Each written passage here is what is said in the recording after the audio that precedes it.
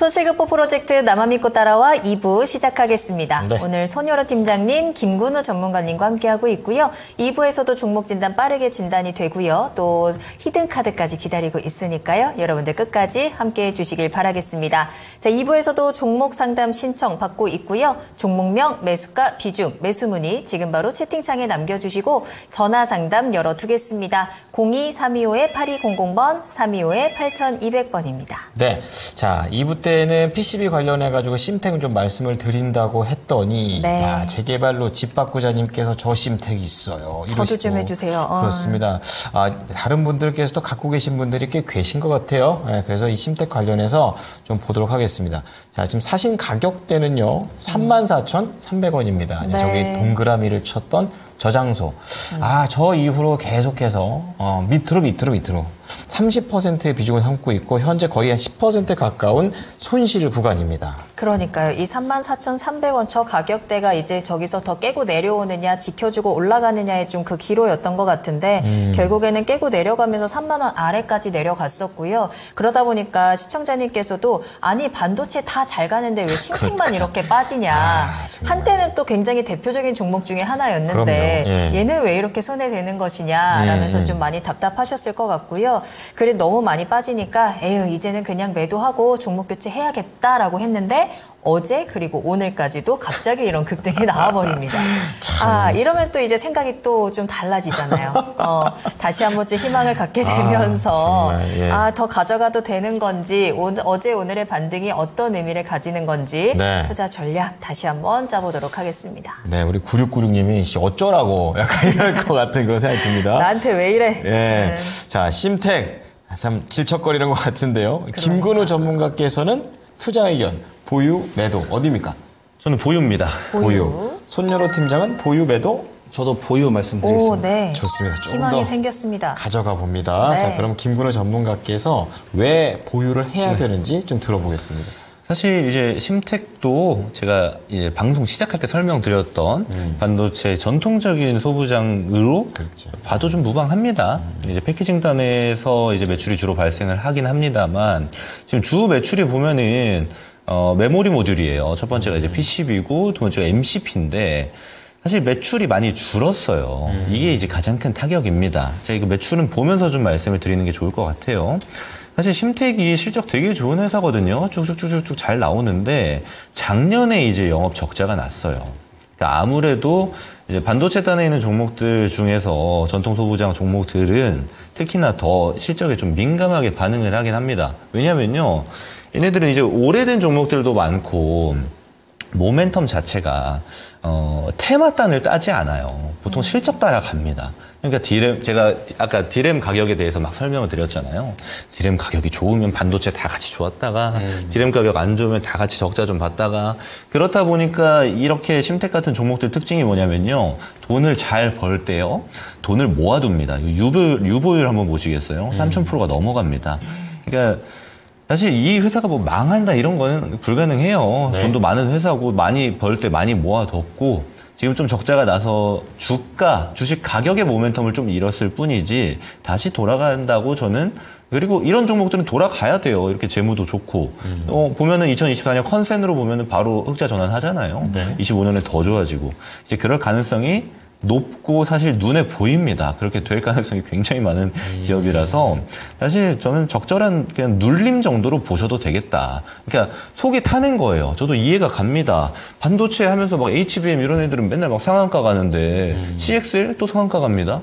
왜 내가 산 심택은 가만히 있는 거야? 근데 조금 느린 애를 사셨어요. 얘가 막 빠르게 급등하고 이런 스타일은 아닙니다.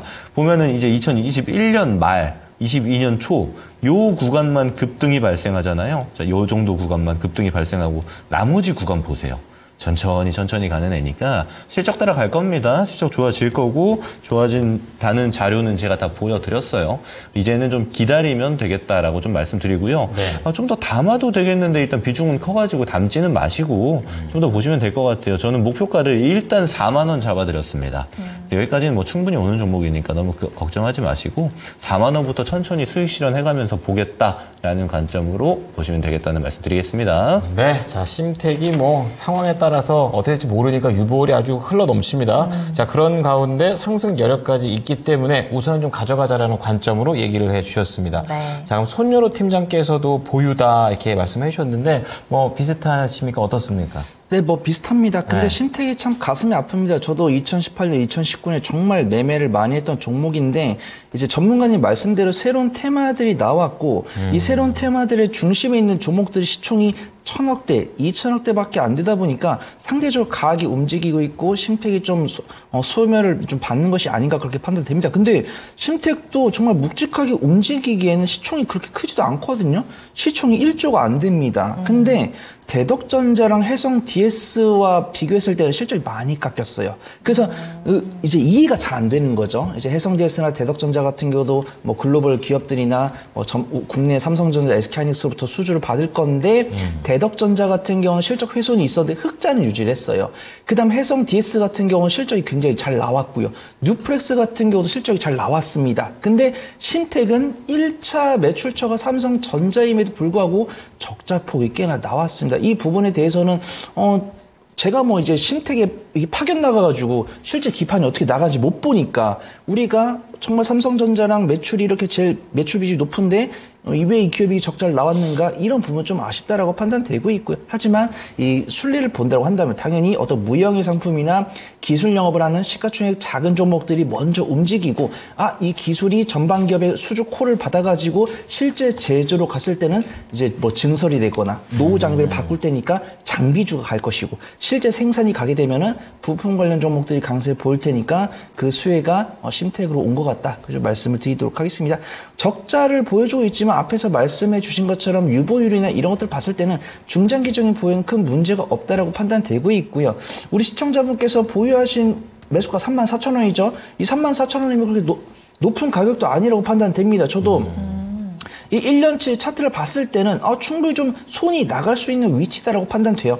두꺼운 매물대 하단에 어, 거의 쌍바닥 구간이기 때문에 여기서 매수를 했는데 뭐 기준금리 인상 우려가 나왔느니 뭐, 뭐 시스템 반도체, on-device AI, 뭐 CXL, 뭐 PIM 이런 것들이 강세를 보이다 보니까 뭐 자금을 뺏겼느니 충분히 이해할 수 있습니다. 그러면 내가 이 종목을 지지선 이탈했다고 정리를 해야 되는 종목이냐 아니면 내가 좀 보유 기간을 늘려서라도 안전하게 꺼낼 수 있는 종목이냐 이렇게 물어보신다고 한다면 저는 신택은 어, 보유가 충분히 가능한 종목이다. 좀 말씀을 드려보도록 하겠습니다. 오늘 수급도는 괜찮죠? 어제 오늘 외국인과 기관의 쌍끌의 순매수에 들어오면서 21선 강하게 돌파해주는 모습이니까 추이가 당분간 유지되지 않을까 판단해 보도록 하겠습니다.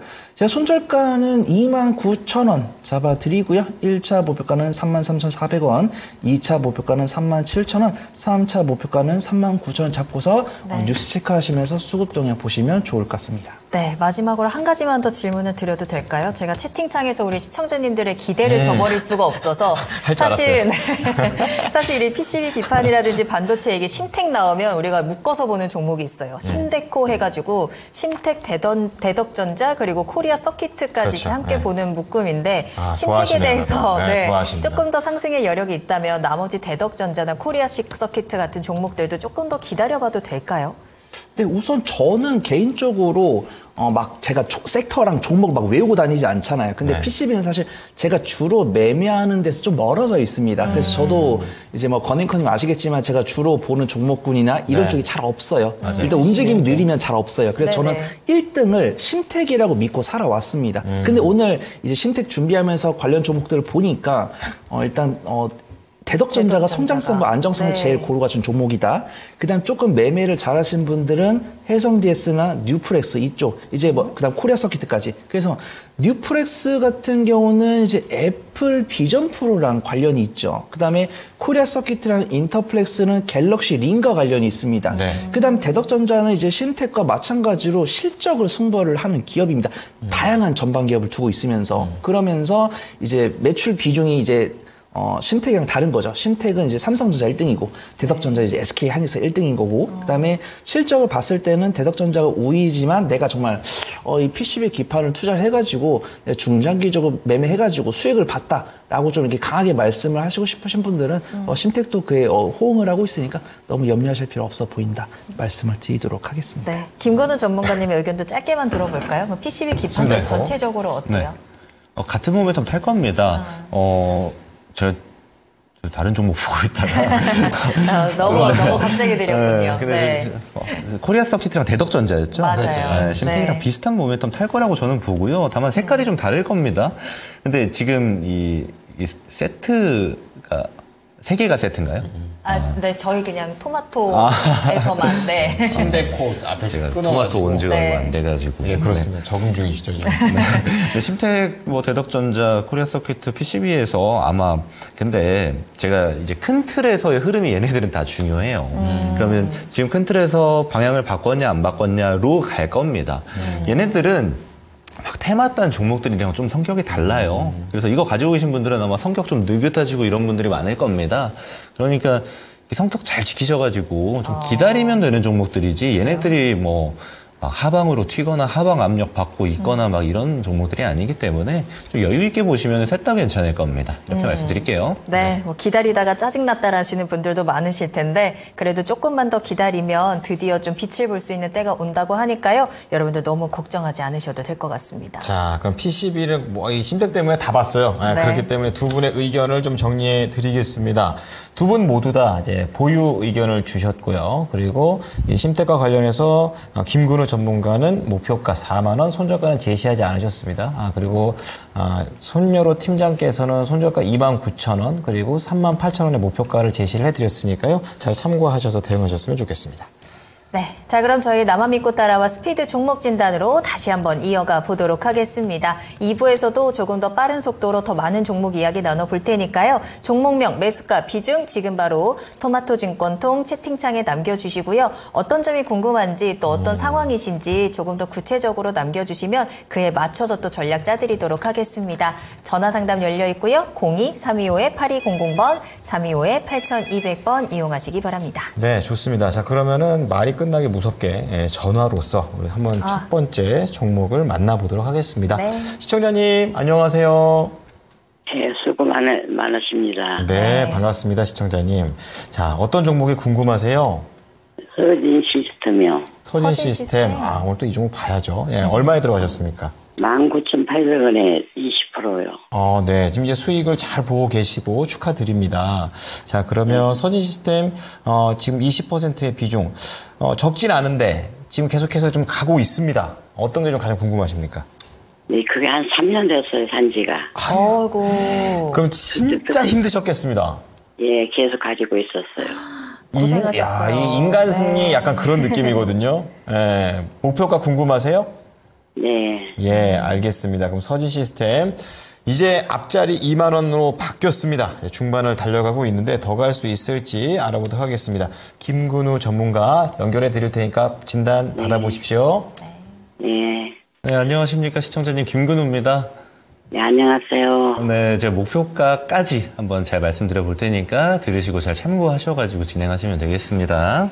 네, 감사합니다. 네, 서진 시스템이 일단은 종목 자체가 좀 생소하신 분들도 많을 거예요. 얘네가 이제 통신 장비하고 두 번째가 이제 ESS 합니다. 그래서 모멘텀 받을 때 조금 애매한 측면들이 있어요. 왜냐하면 사실 통신 장비주들이 5G 모멘텀 받을 때, 6G 모멘텀 받을 때 주로 나왔던 얘기들이 뭐냐면 얘네 매출도 제대로 안 나오는데 왜 이렇게 막 올라가는 거냐 하면서 나왔던 애들이 막 에이스테크라든지 사실 뭐 KMW 이런 종목들이 그런 얘기 많이 들었었거든요. 근데 조용히 있던 서진 시스템은 통신 장비 모멘텀도 못 받고 가만히만 있고 근데 매출은 또 괜찮게 나오는 이런 종목이었습니다. 그렇다 보니까 우리 일반적인 투자자분들께서 접할 때는 어 이거 뭐 하는 종목이지 이렇게 싶을 만한 종목인데 저는 얘가 진짜 오래된 박스권 뚫었다고 봐요. 왜냐하면 꾸준히 매출도 잘 나왔고 기업 자체가 별로 이상이 없습니다. 근데 다만 좀 모멘텀을 받는 부분에서 좀 약했거든요. 근데 그 지점이 오늘 기술적으로 이제 돌파가 이루어졌습니다. 네, 이제 매수가는 이제 2만 원 좀 아래시지만 사실 보면요. 여기 보면 제가 2만 2천 원 정도 되는 가격대에 제가 선 하나 그었어요. 무슨 가격이냐면 2020년도, 21년도에 막 여기서 놀았어요. 이 위에서. 근데 거기를 찍고 한번 내려오고 나니까 거기를 절대로 돌파 못 합니다. 한 번, 두 번 하면서 거의 이 1년, 2년, 3년이 그냥 통째로 흘러가 버렸거든요. 근데 그랬던 자리를 지금 강하게 돌파를 한 겁니다. 저는 서진 시스템이 오래 참은 만큼 상승도 어느 정도 이어질 거다라고 좀 보고 있어요. 제가 이거 말씀드리는 게 분석 보면요. 사실 이제 긴축으로 들어서면서 실적이 갑자기 안 좋아진 종목들도 굉장히 많아요. 서진 시스템 보세요. 매출 꾸준히 늘고 있죠. 영업이익 꾸준히 늘고 있죠. 뭐 단점이 없- 뭐 단점이 없습니다. 다만 좀 보면은 이제 단기 순이익이 좀 적자로 돌아선 면이 있는데 작년에 이제 올해 컨센 보잖아요. 훨씬 더 좋아집니다. 그러니까 실적 따라 가고 있는 모멘텀을 보여주고 있는 거예요. 그래서 지금 신청자분께서는 정말 잘 참으셨고 잘 기다리셨고 종목도 잘 고르셨다라고 말씀드리고요. 네. 저는 가격대를 얘는 조금 끌고 가서 파는 게 좋을 것 같아요. 네. 지금 모멘텀이면은 왜냐하면 과거에 있는 요 정도 매물대 있잖아요. 이미 막 3년, 4년 된 매물대 여기에서 쏟아지는 매물은 보통은 많이 없습니다. 이게 이제 한 1년, 2년 정도 된 매물 들고 있는 사람들이 많을 때 아, 내 본절 오면 던져야지 하는 사람들이 많은 가격대에서는 이 매물대가 막 작용을 하는데 얘는 작용할 확률이 많이 높진 않아요. 그리고 매물대도 그렇게 크지도 않고 저는 그래서 기술적으로 굉장히 좋은 자리고 이 27,500원 구간 정도까지는 충분히 가볼 만 하다라고 저는 보거든요. 여기가 딱 전고대 맞물립니다.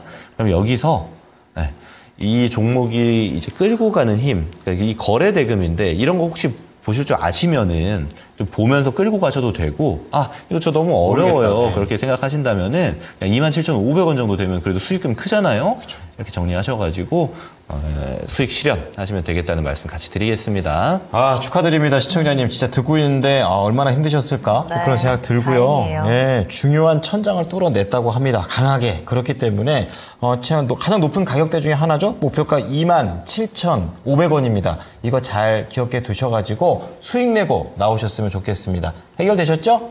아니요, 저기 기간은 얼마나 걸릴까요? 네? 기간이 얼마나 기간. 걸릴까가 아? 기간. 네. 오래 걸릴까요, 전문가님? 기간이 근데 얘가 사실 아시겠지만 막 급하게 움직이는 애가 또 아니에요. 오늘 그런 종목 위주로 저한테 상담이 많이 들어오는데 어 이제 가격 폭이 막 크지 않다 보니까 올라갔다 내려갔다 하면서 천천히 움직일 겁니다. 그래서 그런 지점 보지 마시고 근데 얘가 가다가 만약 모멘텀을 좀 잃을 수도 있어요. 왜냐면 얘 혼자 가잖아요. 같이 가는 친구들 없다 보니까 혼자 가다가 시장의 중심이 예를 들어서 다른 종목들로 가져가서 얘가 좀 소외되는 느낌이 들면요. 이제 2만 5천 원 정도부터는 어 얘가 멈췄네 싶으면 파실 줄도 알아야 돼요. 무조건적으로 2만 7,500원 가는 건 아닙니다. 제가 이 말씀 같이 드리려고 했는데 어쩌다 보니까 말씀을 못 드렸는데 혹시나 올라가다가 어 얘가 모멘텀을 잃어버렸어요. 흐물흐물 거려요. 그러면 2만 5천 원 정도 가격대 이탈하면은 수익 실현 하시는 것도 좋겠다고 같이 말씀드릴게요. 네. 자, 25,000원, 27,500원. 기간보다는 가격대만 보고 대응하시면 될 것 같습니다. 해결되셨죠? 자, 네네. 네, 잘 대응하시고요. 네, 고맙습니다. 네, 감사합니다. 자, 서진 시스템 진단 도와드렸습니다. 네. 자, 그럼 다음 상담도 바로 만나볼 건데요. 전화 연결하겠습니다. 시청자님 안녕하세요. 네, 안녕하세요. 네, 반갑습니다. 어떤 종목 궁금하실까요? 어, CJ라고요. CJ 매수가랑 비중 어떻게 되세요? 18만 9천 원이고요. 18만 9천 원. 10%? 이, 오래 이것도 한 가지고 8년 됐어요. 그러니까요. 어쩌다가 이렇게 오랫동안 처음에는 잘 움직였었는데 그러게요. 그러다가 또, 어, 어. 계속해서 빠지고 빠지고 또 무슨 음. 그 지금까지 왔는데 요즘에 조금 올라가더라고요. 그쵸. 네. 맞아요, 맞아요. 네, 근데 이제 올리브 영 때문에 그런 건지 음. 음, 또 누가 그래요. CJ가 직접 또 자사주로 올리브 영에 음, 네네. 같이 할 수도 있다. 네네네. 네, 그래서 좀 궁금해가지고요. 이거 얼마까지 가야 되고. 아유, 알겠습니다. 진짜 너무 고생하셨네요. 네, 이 종목 역시 또 네. 오면 또 오랫동안 또 하락폭이 워낙에 컸던 종목이어서요. 이제 또 여러 가지 기대감 그리고 특히나 이 저PBR 주주 환원 정책에 대한 기대감도 좀 가지고 계시는 것 같은데요. 이 상승 어디까지 끌고 올라갈 수 있을지 네. 손효로 팀장님께 한번 들어보세요. 네. 네, 안녕하세요, 시청자님. 네. 네, 정말 고생 많으셨다라고 말씀을 드리겠습니다. 하지만 어, 조만간 조금 안전을 꺼낼 수 있지 않을까 그런 좀 긍정적인 뉴스를 보여주고 있습니다. 잘 들어주세요. 네. 네, 어, CJ라고 한다면 당연히 CJ 계열사를 갖고 있는 지주사다라고 판단하고 있고요. 일단 시청자분께서 CJ를 매수하셔서 제가 뭐 CJ에 대해서 부정적으로 말씀은 안 드리겠지만 어, 딱히 지주사를 매매하는 것보다는 현업을 하고 있는 종목을 매매하는 게 조금 낫다. 좀 판단해 보도록 하겠습니다. 일단 계열사들이 많죠. 뭐 CJ, CGV, 뭐 CJ E&M 있고 어, 바이언스 어, 바이오 사이언스는 처음 봤습니다. 그 다음에 가장 핫한 종목이죠. CJ 대한통운 나오고 있고, CJ 제일제당 있고, CJ 프레시웨이가 있는데, 실적이 잘 나오는 기업들도 있고, 실적이 못 나오는 기업들도 있습니다. 그 기업들의 실적을 합산한 게 CJ의 실적이기 때문에, CJ의 실적은 약간 좀 저평가, 어떤 좀 할인되는 그런 경향이 있다. 그렇게 판단을 해요. 하지만, 비상장 기업들이 엄청난 실적을 보여줄 거다라고 판단됩니다. 상장되지 않은 기업들의 실적은 다 CJ로 와요. 뉴스를 보면 은 음, CJ가 어, 물류 배송 경쟁 입찰 나선 알리버 CJ 대한통운 이제 CJ 대한통운이 원래 어, 이제 알리의 배송을 담당을 하고 있었는데 계약이 마무리가 됐나 봅니다. 다시 재계약을 하는 입찰이 진행이 됐다고 하면서 CJ 대한통운이 하락하는 모습이고요. 근데 오늘 CJ는 좋은 모습 보여주었죠. 어, 그 둘은 어, 같이 움직이지 않는 것 같다 판단됩니다.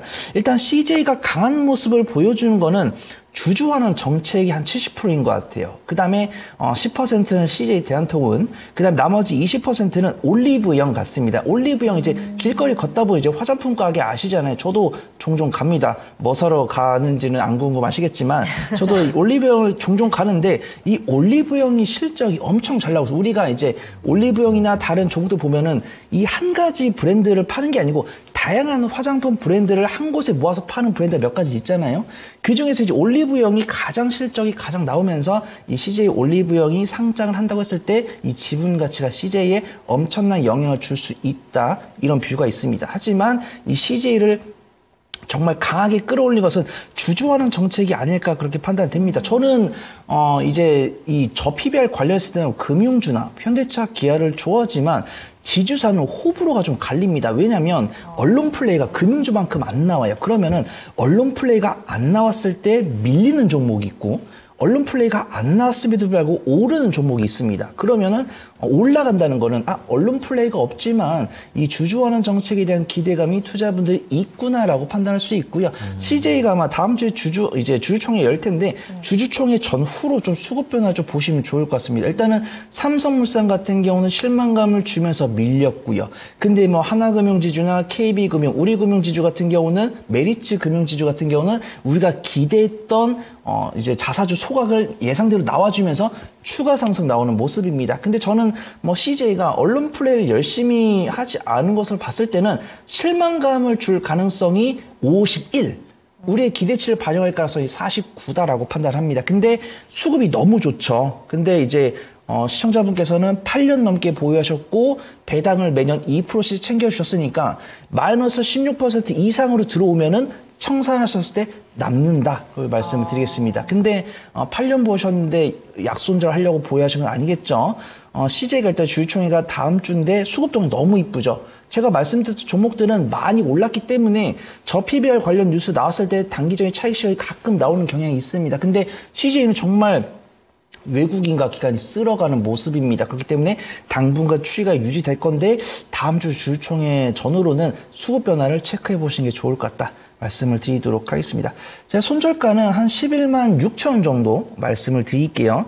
그 다음에 1차 목표가는 14만 1천 원, 2차 목표가는 17만 원 잡고서 내가 15만, 16만 원에서 꺼낸다고 어, 가슴 아파하지 마시고요. 어차피 배당으로 이미 커버하셨을 겁니다.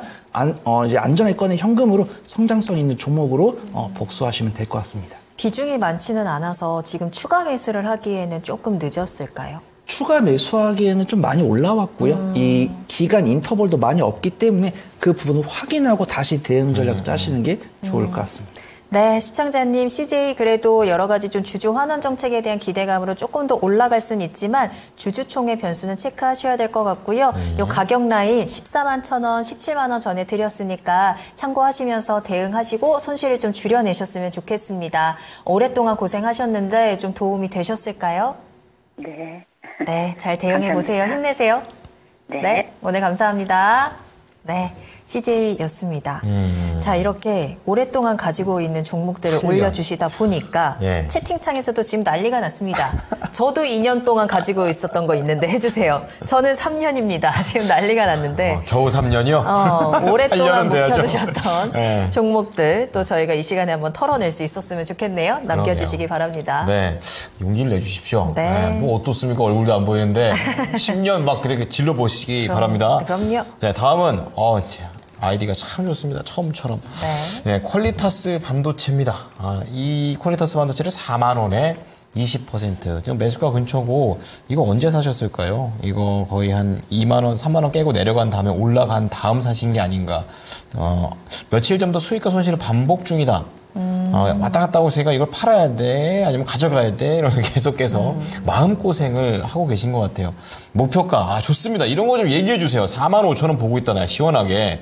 아, 정보 좀 보신 것 같은데. 어쨌든 가능할까요?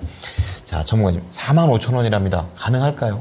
사실 이제 퀄리타스는 저도 굉장히 이제 매매를 많이 하는 종목이라 가지고 저도 좀 잘 기억을 하고 있는데 자 어떤 측면이 있냐면요. 어, 지금 저한테 신청 주신 분은 알고 계실 겁니다 얘는 뭐 실적 이런 거 아무 상관없는 애예요 아시죠 IP 단에서 지금 주목을 받고 있기 때문에 아무래도 CXL 모멘텀을 가장 잘 받고 있는 종목 중에 하나였습니다. 근데 지금은 조금 밀리고 있어요. 흐름이 막 엑시콘이라든지 YIK라든지 이런 종목들은 CXL 얘기 나오면은 막 상승을 하는데 퀄리타스가 좀 조용해지는 이런 측면이 있습니다. 근데 이게 사실 굉장히 자연스러운 측면 중에 하나예요.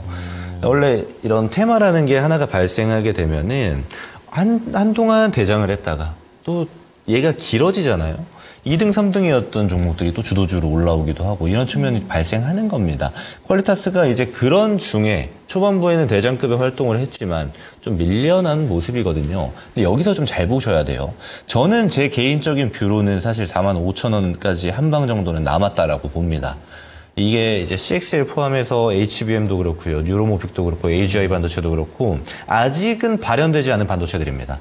근데, 어, 앞으로 반도체가 가야 할 방향들을 제시하고 있는 테마들이에요. 그럼 여기에서 발생하는 종목들, 지금 있는 종목들 보면요, 대부분 고점입니다. 그래서 저는 제 개인적인 view로 한 방 남았다고 했잖아요. 그래서 4만 5천 원, 뭐 충분히 갈만하다라고 저는 지금 가격대에서 보고 있는데 얘네들이 다 고점대라는 건 뭐냐면요. 대응의 영역이 훨씬 중요한 겁니다. 어, 내일부터 해서요. 삼성전자랑 SK랑, 아, SK 하이닉스랑 막 올라간다고 봅시다. 근데 CXL이랑 neuromorphic, AGI 반도체 관련 종목들이 막 빠져요. 그럼 어떻게 하실 겁니까? 모멘텀을 잃은 겁니다.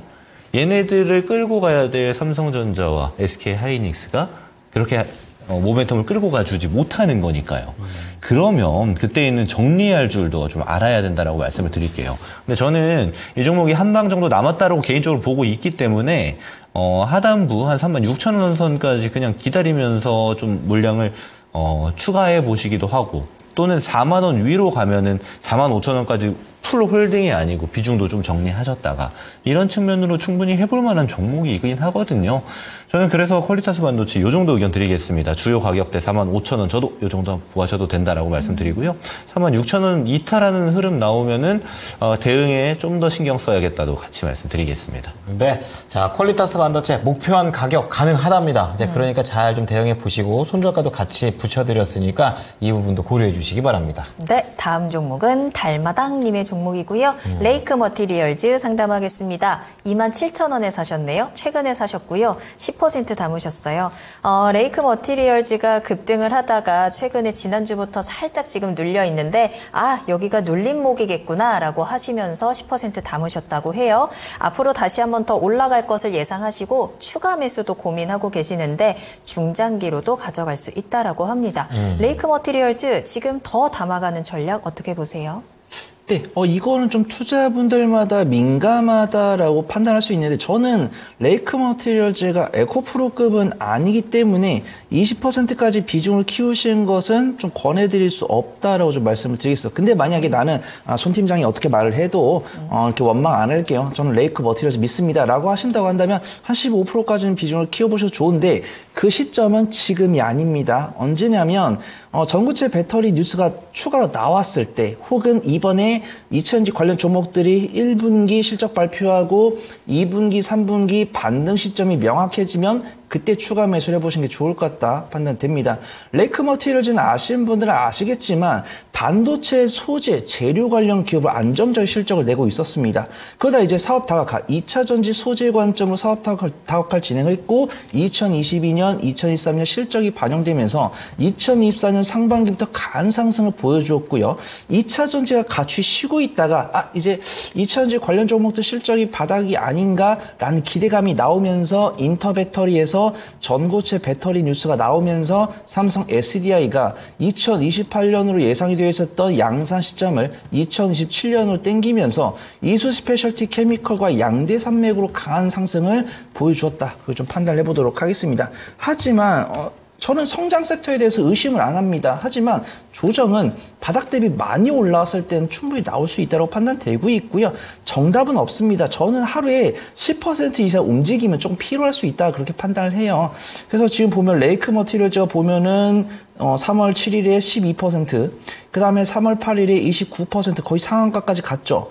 그 다음에 횡보를 하고 있는데 저점이 낮아지진 않았습니다. 하지만 어, 좀 단기적인 관점으로 본다라고 하면은 저점이 낮아지고 있는 거고 수익 관점으로 본다라고 하면은 어, 아직 지지를 하고 있는 거고 지금 보면 이동 평균선이 못 따라오고 있죠. 이동 평균선이 올라오고 있어요. 그러면 여기 지지 여부가 중요하다. 그렇게 말씀을 드리도록 하겠습니다. 그 다음에 저도 레이크 머티리얼즈 한 3일, 3년 정도 봐왔는데 주가가 오르긴 한 것 같아요. 그러니까 주가가 오른 속도가 실적이 오른 속도 빠른 거죠. 그래서 레이크 머티리얼즈를 제가 2020년, 2021년 봤을 때는 업종 PER은 뭐 50에서 70 사이였다고 한다면 레이크 머티리얼즈 PER은 사실 20이 안 됐습니다. 근데 지금 보면 PER가 65.59죠. 그 다음에 12개월 선의 PER가 38.7이니까 레이크 머티리얼즈의 주가 우상향에 대해서 의심을 하는 것은 아니지만 실적이 따라오는 속도보다 주가가 상승하는 속도가 빨랐으니까 그 리스크는 어, 좀 파- 생각을 하셔야 된다고 판단되고 있고 어, 전고체 배터리 같은 경우 실적이 아직 반영되지 않은 섹터이기 때문에 이 뉴스가 나와준 term이 중요합니다. term이 뭐 3일마다 일주일마다 나와줬으면 좋겠는데 일단 인터 배터리 종료 이후에 전고체 배터리 추가적 모멘텀이 안 나오다 보니까 외국인과 기관은 눈치를 보면서 줄이고 있어요. 그래서 수급 동향 보면은 지금 외국인과 기관이 one side하게 매도를 하고 있지는 않지만 외국인과 기관이 번갈아 매도를 하고 있습니다. 그런 부분에서 저는 아직은 지지하고 있다고 판단되는데 요 21선 이탈 여부에 따라서 좀 대응 여부를 좀 보셔야 될 것 같습니다. 제가 손절가는 24,500원 잡아드리고요. 1차 목표가는 2,000 어, 어, 29,000원, 2차 목표가는 31,000원 잡고서 전고체 배터리 관련해서 뉴스가 빨리 나오기를 어, 바라보도록 하겠습니다. 네, 비중 확대에 대해서는 좀 더 신중한 자세가 필요할 것 같습니다. 네네. 실적과 주가 상승의 갭 차이를 좀 고려해야 될 것 같고요. 음. 이를 좀더한번 더 끌어줄 수 있는 강력한 모멘텀이 또 뉴스가 필요하다라는 부분까지 체크하시길 바랄게요.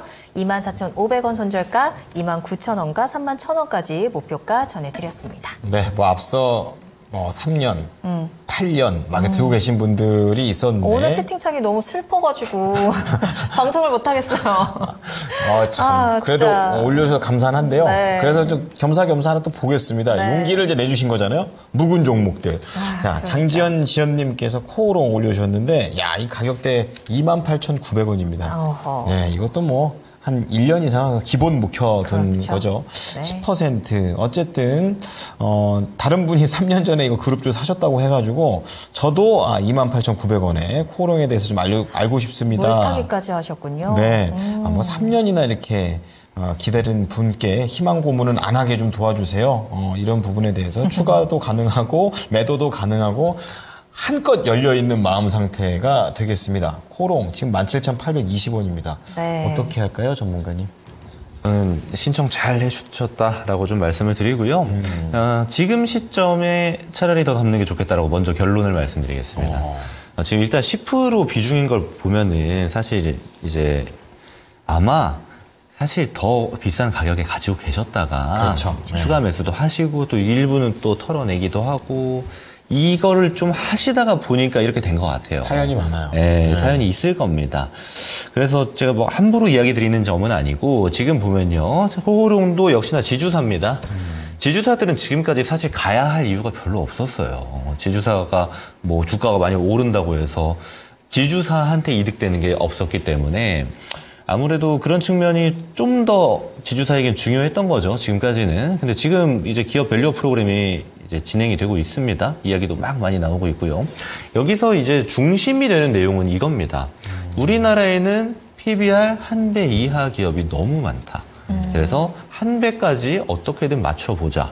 해서 지금까지 나온 얘기가 이제 최근자가 그거잖아요. 이제 세제 혜택을 주겠다. 에, 어, 자사주 소각하는 기업들에 대해서. 근데 이렇게 많은 기업 value 프로그램에 좋은 이야기도 하고 또는 어, 막 해코지도 할 겁니다. 일본이 그랬던 것처럼 아무래도 기업 value 프로그램은 일본 프로그램을 좀 모방하려는 측면이 많으니까요. 아마도 막 상장 폐지 시킨다 막 이런 얘기도 나올 겁니다. 그럼 그럴 때마다 들썩들썩 할 건데 제가 이 얘기 왜 드리냐면 거기서 가장 핵심이 되는 애들이 지주사예요. 그리고 금융 관련 종목들. 뭐 보험업도 있고 뭐 카드 막 이렇게 종목들 있잖아요. 증권업 이런 종목들이랑 지주사들이 가장 많이 지금 언급되고 있어요. 그래서 코오롱도 지금 뜨끔뜨끔한 겁니다. 지금 바닥에서 막 거래 들어오고 이런 거 보이시죠? 그러니까 코오롱도 이제 올려야 될 이유가 생긴 거예요. 제가 요 얘기를 먼저 드리는 게 이제 기업 분석을 들어가서 제가 아까 PBR 몇 배까지 나와야 된다라고 이야기 드렸죠? 한 배라고 이야기 드렸어요. 지금 최근 분기 보면 0.24배입니다. 그럼 지금보다 4배가 더 올라야 한 배가 되는 거예요. 그러면 주가로 계산을 해보면요. 곱하기 4 하면 뭐한 7, 6만 얼마 막 이렇게 나오죠? 네, 그러면 엄청 많이 올라가는 거잖아요. 사실 거기까지 기대하지는 마시고, 왜냐하면 목표가 그렇다는 것이 실제로 목표가까지 무조건 되는 건 아니거든요. 저는 그래서 지금 가격대 있잖아요. 이제 17,000원대 정도 되는 가격대에 산만큼 더 사셔가지고 평단을 확 낮추세요. 그러면은 이 중간 값에 이렇게 평균 단가가 맞춰질 겁니다.